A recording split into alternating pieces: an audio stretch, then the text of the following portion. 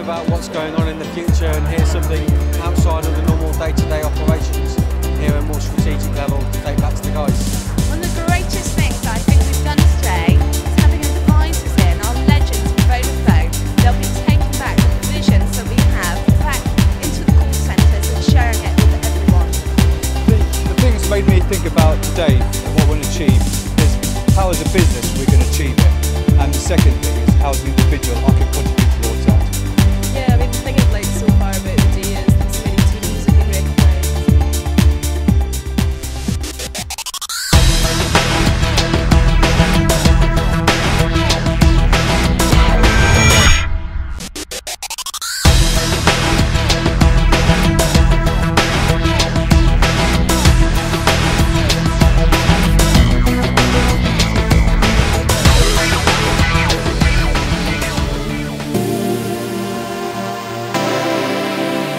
Hello. Given my lack of direct experience and indeed personal skills in the new information technology, it's as big a surprise to me as anyone to learn I'm the first world leader to have his own YouTube channel.